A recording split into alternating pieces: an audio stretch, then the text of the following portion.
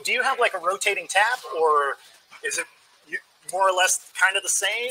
We we have um, it's probably like six that we always have, Okay.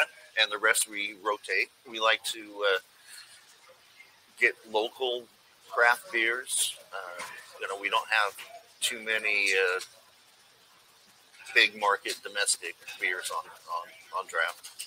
You know, they're still available in the bottle if you want your uh, Coors Light or whatever. Coors yeah. Light or your